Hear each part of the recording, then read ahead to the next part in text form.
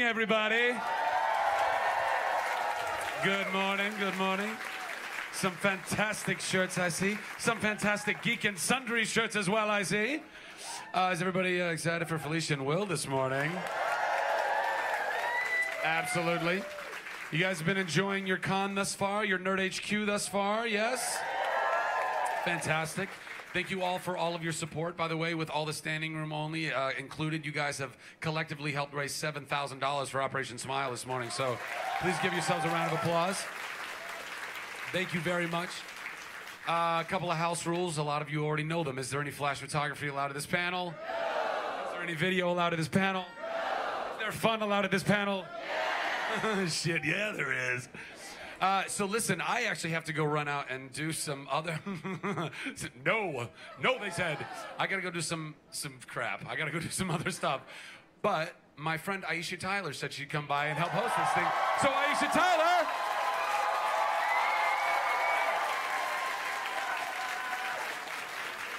Hey everybody, how's it going?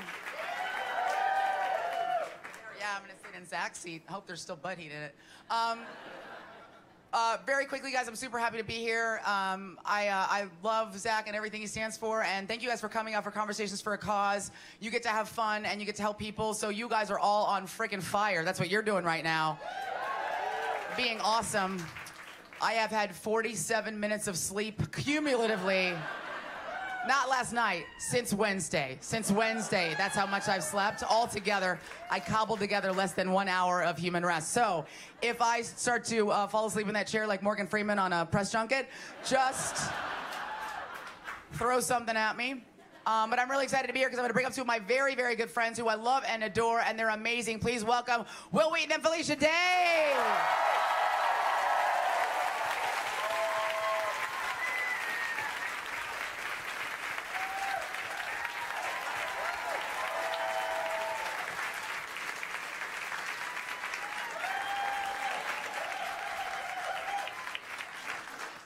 The most like a lady I've ever seen you. It's because um, I had a pixie cut. Um, everybody on Twitter will know that. And uh, and then I went to Europe because not because on vacation, but because I went through the salad bowl phase of the haircut. So it was And like, you figured you just fit in in Europe? well, I could just hide in another continent. You know, the Dumb and Dumber phase where it like Yeah. goes over the ear. Yeah. Um, You and spend then a lot of time in Holland? a little bit. And That's a Dutch boy paint joke, by the way. you- that's a real obscure. It's a long way to go. It is a long way to go for something that's not very funny. Yeah. It, uh, and then, so basically, I'm into headbands now because it kind of, it, it, it, sort of redeems because there's a little, there's a, still a little bit of Caesar, you know, salad bowl going in the back. So, what? Well, it's just that, I mean, you know, you were very uh, ballet like and, uh, you know, like choreographed as you sat down. And I don't know how we get from your pixie haircut trauma to that. I mean, it wasn't trauma. The salad bowl phase was trauma. Right. Because my mom did that. It was like, boop, there you go. You're go to school or don't go to school. However, she. I I'm so tired. Aisha got 47 minutes of sleep. I'm in like the 43, okay? Hey, I will fight you. I, I will fight you. We'll wrestle, and then we'll both fall asleep on the carpet like kittens. Yeah, the, your your the fight the fight that you guys have would be you both standing up and going, "Oh fuck it."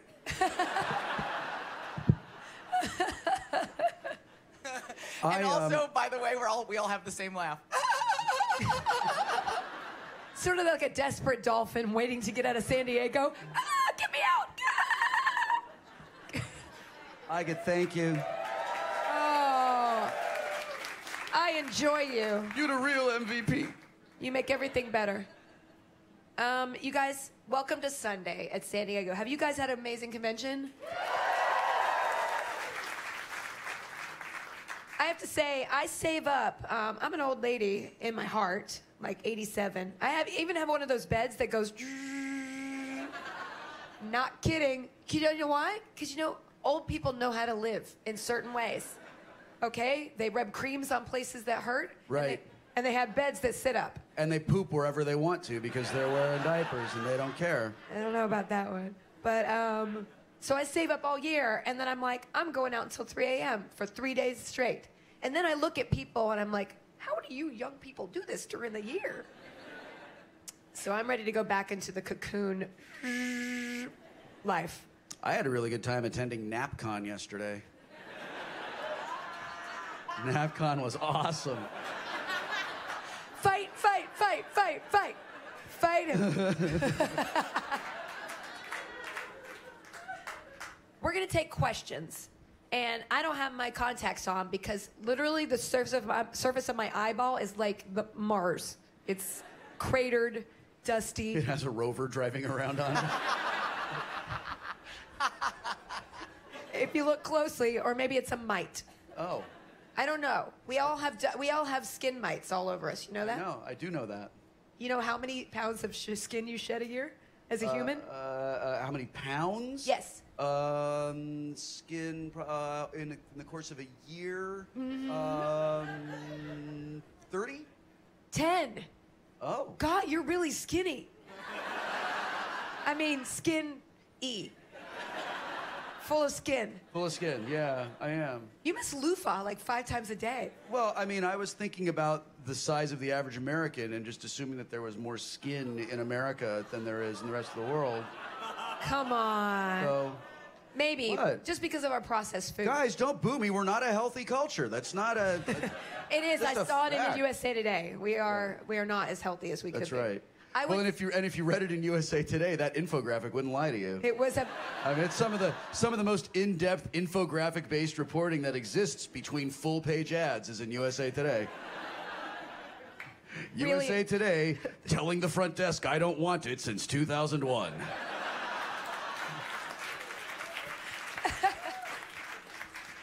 Okay, we're gonna take questions, and there are people with microphones, and I can't see them, so we'll. I see a person with a microphone over there Oh. because my eyes don't have mites in them. Hi, um, good morning. Good uh, morning. Alicia. Hi. Good morning. Um, so, first of all, I wanted to thank you for um, Geek and Sundry and Tabletop. It's Um, amazing you're what welcome. you guys have done. Thank Um, you. Me and my brother have actually bonded more over it. He like bought Munchkin. We love watching Co-optitude and Tabletop. It's You just bonded over Munchkin. Usually that Yeah. breaks people up. Yeah, it usually kind of goes the other way. If you got to really want to strengthen your relationship, play diplomacy. That, that's a joke for the super gamers. which everybody here seems to be. Yeah. Yeah. Um, so my question was, through this journey, through tabletop and through Geek and Sundry, what is this? What has been one of your most memorable memories? Like through, like through the Kickstarter thing, or through anything you've done to get to the point where you are and what you've done so far. Wow, that's a really good question. Um, I mean, there's been so many highs, and I have to say that this is the weirdest coincidence. But I woke up this morning. uh, I mean, if you could call it waking up from the 42 minutes, it's going to be like one and a half minutes by the time this is over. But uh, I woke up and I saw tweets that said that today is the anniversary of the first episode of The Guild being uploaded. Seven years. Hooray! Seven years of internetdom. That's literally like a, a thousand, That's a in, thousand in internet. years. ye- Yeah. in- Oh, yeah, um, sure. And uh, it's really cool to be able to celebrate this coincidence. And I think we're going to hit a million subscribers today. We're like 400 away on Geek and Sundry. So it's like a weird amalgam of all these things. And, you know, the journey has not been easy in any way, shape, or form.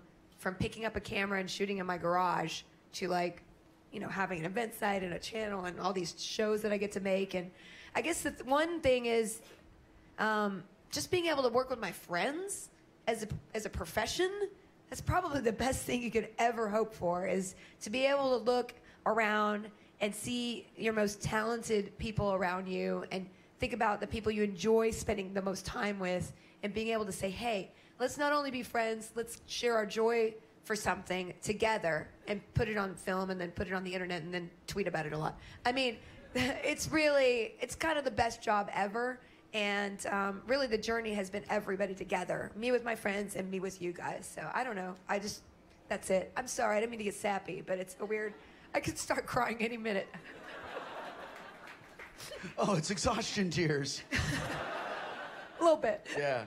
You said that it was really hard, which is, uh, I think, a, an important thing to um, just to sort of uh, uh, highlight because this is a, a, something that I, I, believe it is my personal experience in my life has borne this out, and uh, everything that I have uh, taught my kids has uh, has has supported this. Everything worth doing in our lives is hard. You know, if I mean, if a thing was easy, everybody would do it, and it wouldn't matter, right?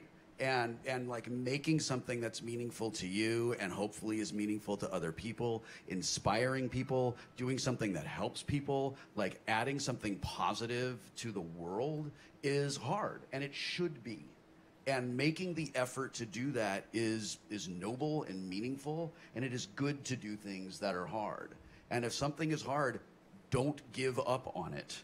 Uh, no matter what it is um, uh, except for trying to beat the Binding of Isaac. It's that's not. That's, there's a point where it's just like, you know what, flies. I get it. Um, uh, I want to tell you my most one of one of my most memorable moments with tabletop uh, was an email that I got from a. Uh, actually, there's there's two. I'll tell you the second one. Uh, the, first one is that this um, uh, a father emailed me and said, uh, this was like during about about halfway through the second season of Tabletop. A father emailed me and he said, my family uh, has been sort of like just drifting apart over the last couple of years. My kids are teenagers. Uh, my wife and I work really long hours. We work really hard. And what has begun happening in our lives is we come home, we have dinner, uh, and then we just like go to our own corners and do our own things. And like we you know maybe we'll watch a tv show together. But the kids go to their bedrooms and they play their video games. And my wife goes to watch tv and i go to do i forget. And, uh, and he said and but what happened is that we started watching tabletop. And the kids said hey it would be great if we could have a family game night and we could play these games that we watch on tabletop. And he said you brought my family back together with tabletop. We get together. Uh, it started being once a week, and now it's almost every night after dinner, and we play a board game. And it has, and it's brought the family back together and strengthened our relationships. And I'm really happy to have been able to make something that that did that. And I hear that story or a version of it all the time, uh, at just about everywhere I go. Um, then uh, when we were doing uh, the Indiegogo for um, season three of Tabletop, um, a little boy sent a letter to Geek and Sundry with with a he was like he's like six, and he sent a letter to Geek and Sundry with a a six year old's drawing of uh, us sitting at the table playing games and little boy crayon writing that he wants to help make season three so people play more games and he wants us to have his allowance and he sent us a dollar a one dollar bill. He did. It's really happened. It really happened and i have the whole thing saved and i'm having it framed so that i can have it in my house because it's just a reminder of like making tabletop is not easy and we are not like we're not doing it because we're getting rich. We're doing it because we genuinely love it. And uh, and it is and it's this reminder of like you know the things that you do like the awesome things you do and the shitty things that you do touch people in ways that you cannot even imagine. And uh, and that is why it is so important to me to be awesome when you have the opportunity to be awesome or literally anything else. Um, the end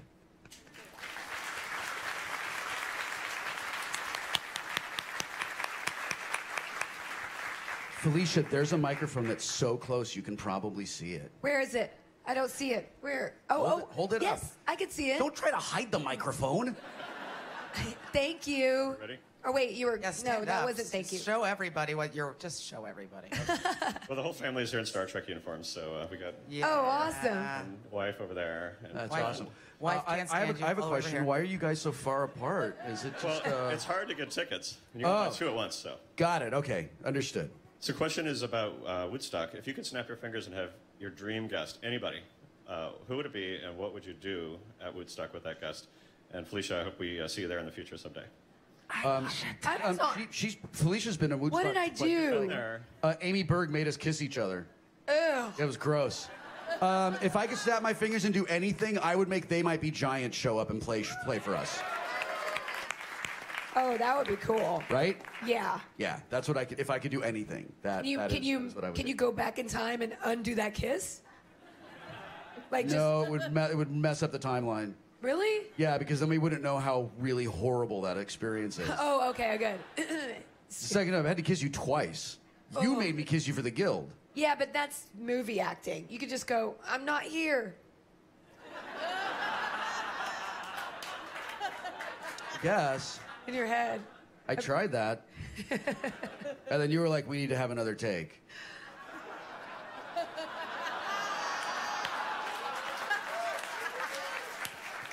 Because it didn't look real for the cameras, you sick, weird, twisted people.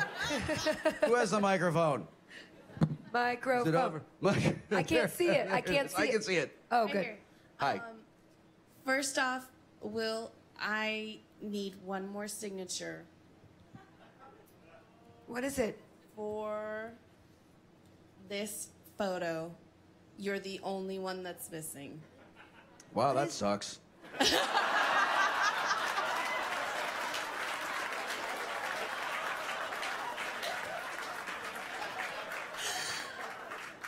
So yeah, Yeah, that's a just putting bummer. that out there. Um, Looks like you've carried that around for a long time, too.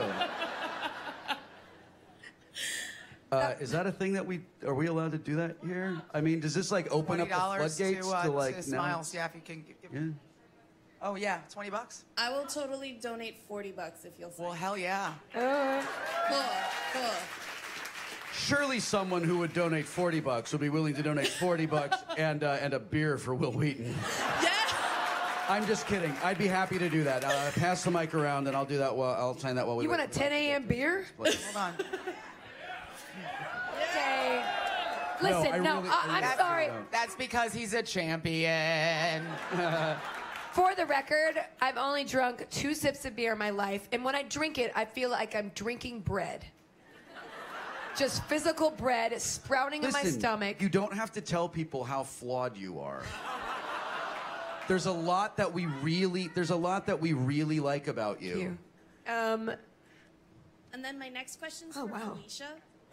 Yeah. She has this picture of the cast of Buffy, and you're the only one not in the picture.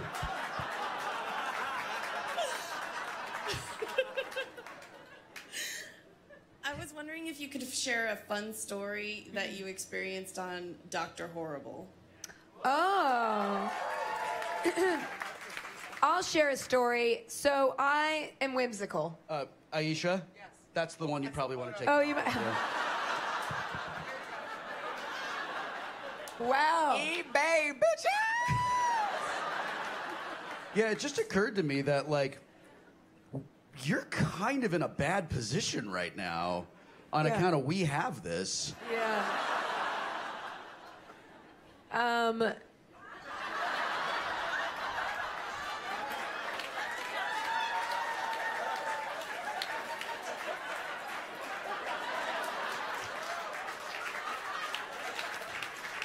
So tell us that great tell us that great story about Dr. Horrible. So I'm whimsical, and I like to um, just experiment with things. And there's a scene um, in the laundromat uh, in Doctor Horrible, and we were shooting at the laundromat. Thank you. Um, and it, this, it was a very low budget production. Like it was barely, it was the size of a guild production toward the end. I mean, really, very low budget. Everybody was on shoestrings. Everybody's sitting around, no trailers, nothing. We're all just hanging around. And next door to the laundromat was a blackened out door. Okay? And I was like, and I saw a woman go in there and come out, and I was like, ooh, are those drugs? Is that a drug place? And I got really excited because I don't know where they sell drugs. I always assumed parking lots or, you know, shady street corners or parks near fountains. Peop- Yeah, yeah, like people- within 100 feet of a school. Yeah. Yeah. So I all day wanted to go in here, and I saw a couple people going in and out. No sign, completely like blackened out matte um, door. So I was like, I'm going in during lunch, and I opened the door, and inside was pro- it was like a bootleg Chinese bakery. And it was the weirdest. It was like this guy. He's listening to the radio, and he's like, just watch. He's like watching the door, very skinny, and he's like sweets are piled all around him. And they're weird. You know, have you seen those jelly treats you get in Asia? They're like pink, and they have like uh, coconut on them, and mochi, and like all these very odd things. And I was like, oh yeah. This is my drugs. I mean, I, I mean, sweets it are my sounds like drugs. you walked into the real life seven. Maybe. But anyway, so I was like, oh, great. Here's, and he was like, can I have one of each? And he's like, how much? I was like, how much? He's like, he looks me up and down. He's like, $60. It was probably $10 worth of treats. But I was like, sure. Um, and I, I, I, I give him the money. I take one of each, and I'm like, here, guys, I got you a present. Not one person ate one of my Chinese Well, treats. yeah, because they're full of drugs. I have a follow-up question for you. How- Sure. How, did you identify it as a bootleg Chinese bakery? Because clearly there was no there was no sign outside the door. There was no light There's coming lots in of the windows. things without signs outside the door. It doesn't mean they're bootleg. Well, I've been to a great bootleg bar in What it- Burbank. then I guess what? Okay, what does bootleg mean? B- a bootleg is where like that's when you make like a fake Louis Vuitton wallet. Okay, these were fake Asian treats. How do you make? But that's not. It's not possible to make a fake Asian treat. It's being made by an Asian guy using the ingredients that go into. There's nothing fake about it. I did not see you a just kitchen got back ripped there. off.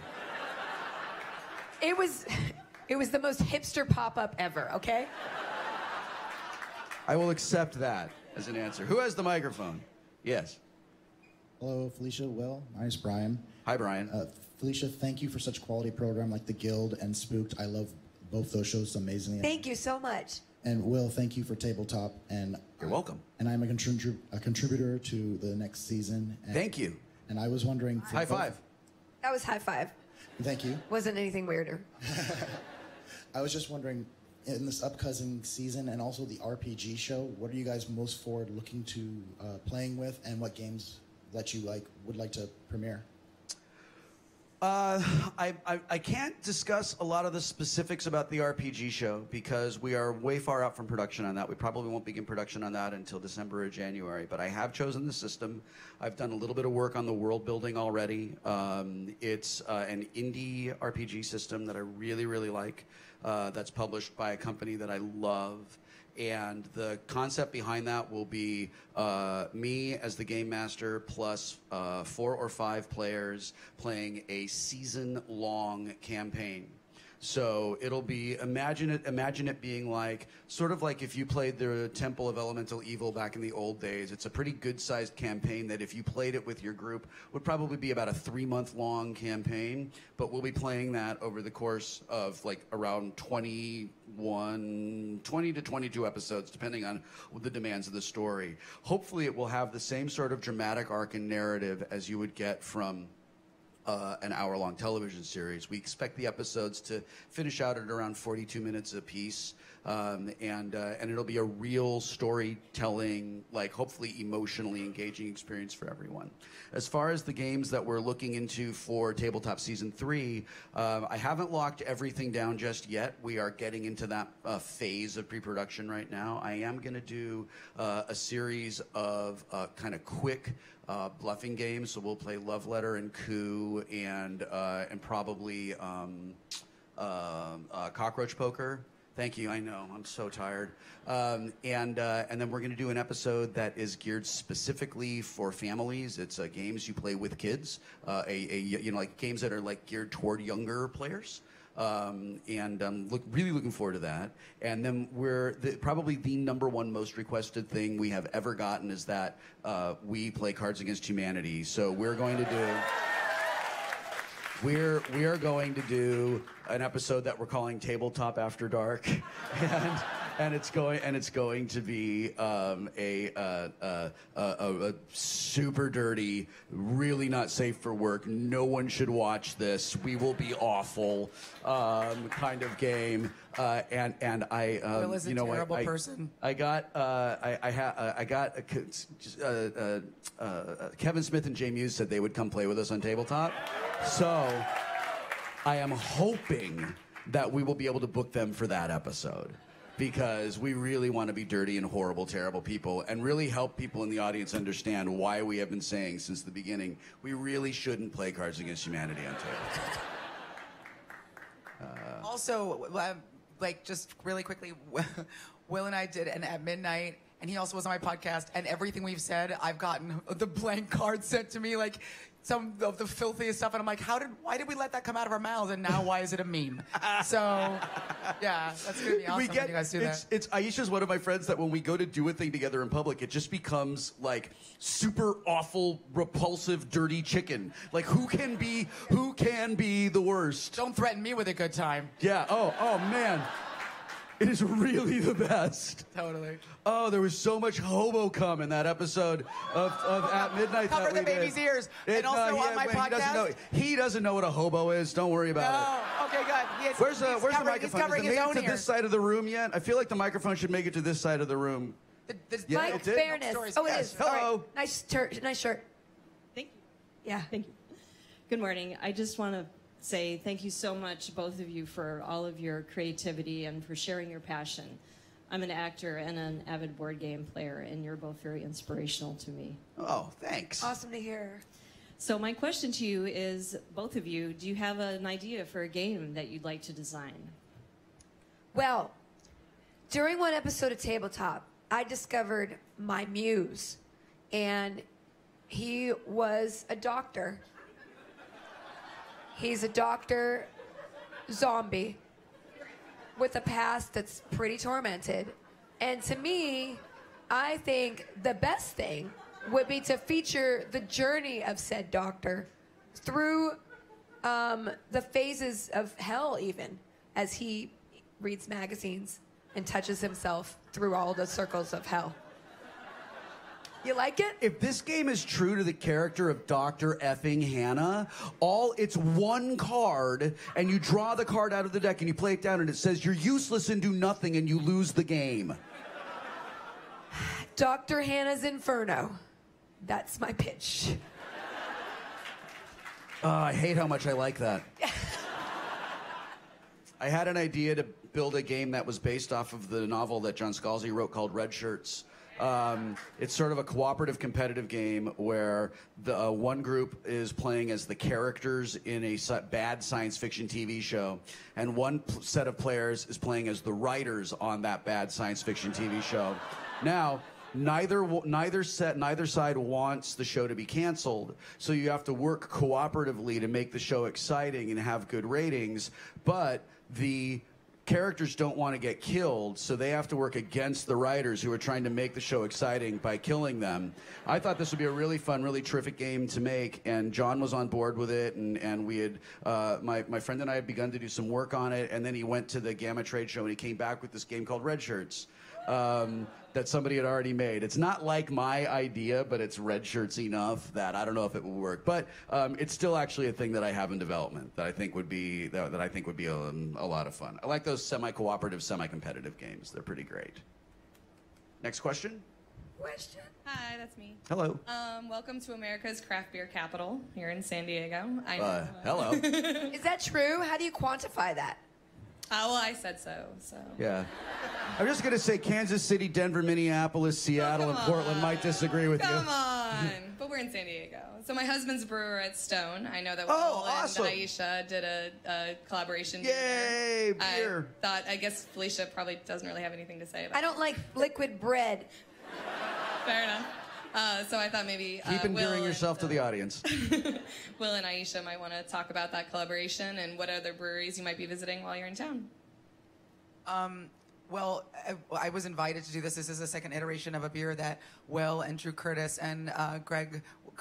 I'm so it's so early. What's Greg's last name? Cook. Cook, thank you. I was going to say Koch. That's a different person. Um, uh, brewed last year called w00tstout. We did w00tstout 2.0. It's an imperial stout with pecans and wheat. Pecans from Drew and wheat and wheat from Wil and chocolate from me. What what? And, uh, and Quarter aged in bourbon barrels. Quarter aged Kentucky bourbon bourbon barrel, barrels. Moves back in before bottling. It's delicious. It is like liquid bread uh, or liquid bread pudding or liquid awesome, Felicia. Liquid Yeah. awesome is what it is. Yeah, and if you drink a bottle by yourself, there's a bad idea bear in the bottom of each one. All I'm saying is sign out of Amazon and eBay before you drink this beer. Yes. But tell the best part about um, about uh, the art on the bottle, which was the most amazing thing. The art on the bottle of w00tstout 2.0 was drawn by Dave Gibbons. Co-creator of The Watchmen, who turned So- us into superheroes. Turned us into superheroes. So Aisha and Drew and I are on the are in this bottle as superheroes. Yeah. What was your superhero name? Um, my superhero name was uh, the- Rapier? The, the his he uses his rapier like wit. Yes. Uh, uh, to do things to people, and my name was the the mercenary, but it's spelled like myrcene, M Y R C E N E, which is the compound in hops that makes beer bitter. Ah. Mine was uh, Lady Temerarious. I rush headlong into danger without forethought or preparation. Yes. And Drew's superhero name was Captain Obvious. yes. So he can- Which he, needs he no just, tells you what's going on. That is who um, is. It was really fun. It was a wonderful experience for uh, for for all of us. Um, I got to go to Liberty Station and brew a collaboration beer. I did a, White Sage IPA. Um, uh, with uh, with Chris Ketchum, that was great. It's really good. Um, Rylea Vanderbilt did a uh, uh, a ginger uh, lemon uh, Hefeweizen that's super delicious, and then Bobak Ferdowsi, who a lot of you probably know as the NASA Mohawk guy. Uh, did a um, uh, cucumber jalapeno uh, blonde ale that is i know it sounds like the weirdest thing in the world but it's really super delicious you can get it at the stone tap room downtown you can get it at liberty station and up in escondido You can get Uh, our beer great. at Costco. you can get our beer, yeah, and our, our beer actually it's kind of a big deal. Like it's it's it's very rare, and you can only get it in Kentucky and California, um, uh, just because the the brewing schedule didn't allow us to make more. Uh, unfortunately, I don't have any time to visit any craft breweries while I'm down here, um, but uh, I always make an effort to drink local craft beer when I go around places to see what different cities bring to that experience. Um, and uh, I had a double IPA last night called Damned from Beaver something or other. Uh, that was actually really super good. I liked it an awful lot. And, I, and they're in like um, a city whose name has gone out of my head, but is within, you know, 100 miles of here. And Wil is a really accomplished home brewer, so he just drinks craft beers in his own home all the time that he made himself. It's true. This whole conversation now makes me empathize with normal people listening to me talk about video games.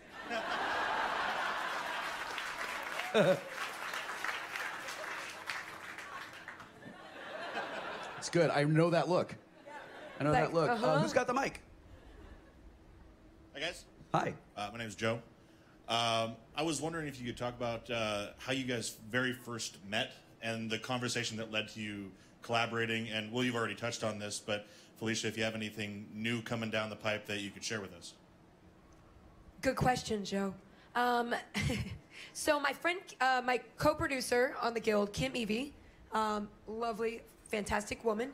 She knew Wil from um, Acme Sketch. For, yeah, Fest. Kim and I were in shows together and we wrote sketches together. And Kim was the only writing teacher I ever had. I took one sketch writing class, and she was my teacher. And I was like, I love this woman. And then we met later after I fell off the writing wagon, and she was like, You should write more. And that's how the guild happened. And I used to come see you in the Bravo show. Yeah, and I was like- Acme, and you were actually you stood out in that Bravo show. You were Oh, good in that Bravo you. show. Well, I was excited to meet you because as a 12 year old, in my dreams, I married Riker all the time. Yeah. Many times. I would Yeah. put my small 12 year old hand in his beard and I'd be like, I love you, honey. And we'd go to like Disneyland and get in the teacup ride. So, torrid affair. Um, anyway, so later. Later, um, I was writing Guild season three, and I knew that I wanted to have a rival guild be um, a storyline in that in in that um, season. And I thought, well, I always like to write parts for actors because it's the most fun. I just I like to look at somebody and be like, hey, what would they do awesome, or what do they normally not do that I want them to do? And um, immediately, I had this idea of this character Fox, who's the rival guild leader, who is this very intellectual, pretentious, condescending, but in the heart, you know, still sexy. Okay. Eh. Uh, It's good to have an acting challenge. It is. Yes, clearly. I mean, to be condescending. Yeah. So basically, I was like, Kim, can you ask Wil to go to lunch, uh, to lunch or to coffee or something with me? And she she connected us. And then where did we go? We went to the to the most pretentious coffee place in Silver Lake. I can't remember what it was called. L.A. Mill. And and, and, La the, Mill. and the way that Felicia pitched it to me was, "Will you play a douchebag in a kilt?"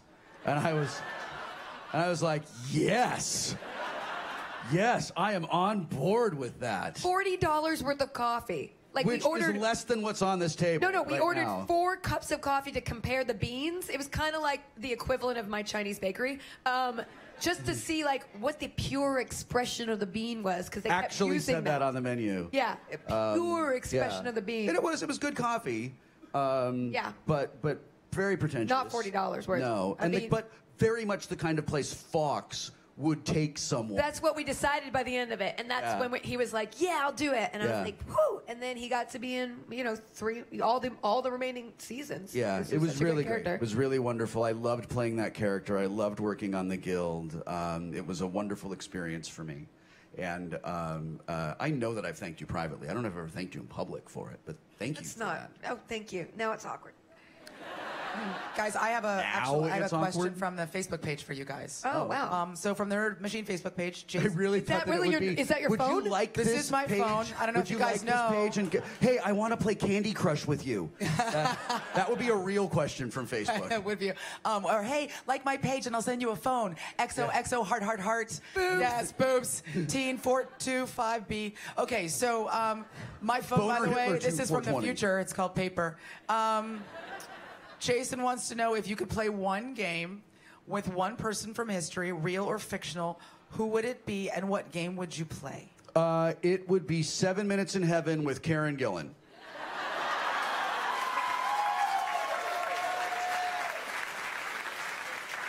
I co-sign that completely. I would play. Your move, Felicia. Uh, I would play Pong was Sartre because that sounded super pretentious.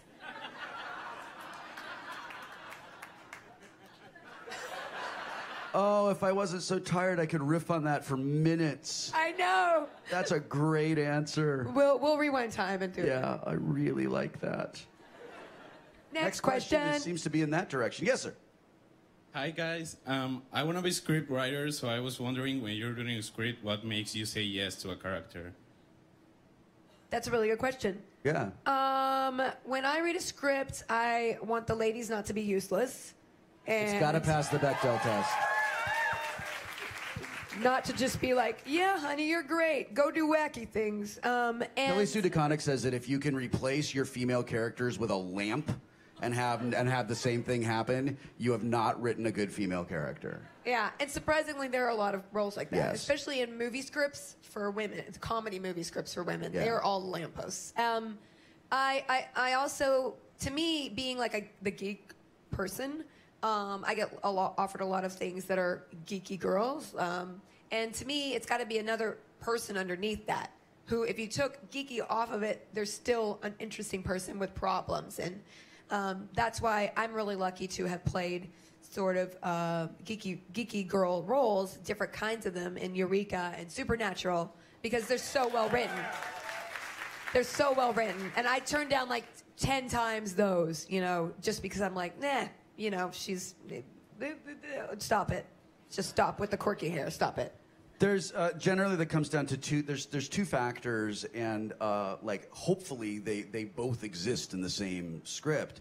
Uh, the project is interesting and it's well written and it tells a story that I care about, uh, and then the character has like offers me something to do um, that that is interesting, that's challenging, that's not something I have done over and over and over again. That I feel like I can make an emotional connection to. People ask me all the time if I would want to go do something and, and like re- recreate the role of Wesley Crusher, and the answer to that question is is always no because I've done everything that I could possibly ever want to do with that character, and it's not interesting to me anymore. Um, and uh, uh, I think that a lot of actors would tell you the same thing that, that they want to play a character that is interesting, that doesn't, you know, you're going to live with that character for months, right? Jerry Seinfeld says if, you're, if you see a bad movie, you're there for an hour and a half. If you're in a bad movie, it's five months of your life. So, so you want to, you know, hopefully choose things that, that are, you know, that are, that are meaningful to you. It looks like we're down to like the last 50 seconds of. Oh, one more question. Well, oh, yes. Okay, Yes. one more mic. Is there a specific uh, video game genre or series that you two would like to play a character in? Oh, wow. Yeah. Yeah. Like, like, like the um, I I love love the Dragon Age series, and one of us gets to do that already. Um, Uh, I I loved the Fallout series. Oh, yeah. Um, and we both got to be in New Vegas. But honestly, um, just because it means that it would exist, I would very much like to be a character in Half Life Three. Get on that, Gabe. Uh, mine would be Fallout because I love being dirty. I was I I. Come on now, I I like like I'm I'm a, I'm a street urchin. I like you know. Please, oh, sir. Felicia's doing accents. Fantastic. What are you talking about? This is my British accent. I'm gonna kill you. Um. So.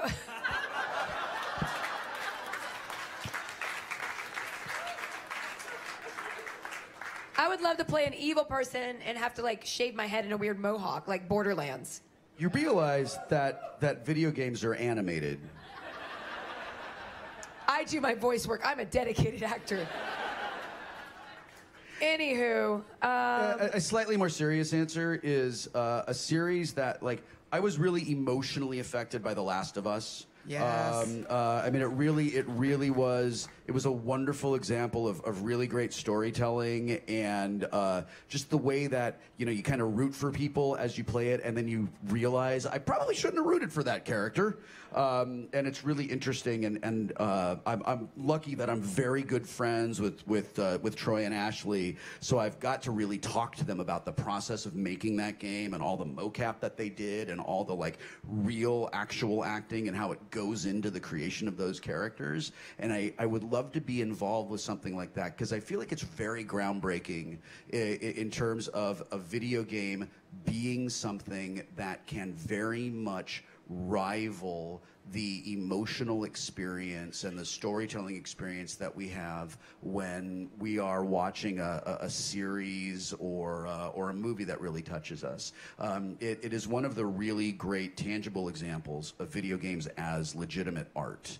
Uh, and to be able to be part of that uh, in a way that disproves what people who have an agenda that dil- that requires them to not respect video games as art, uh, to like to be part of something like that would be really awesome, and I think a little punk rock. I'd like to be in Mass Effect so people can have cutscene CGI sexy times with me. Ladies and gentlemen, give it up for Felicia Day and Wil Wheaton. Thank you.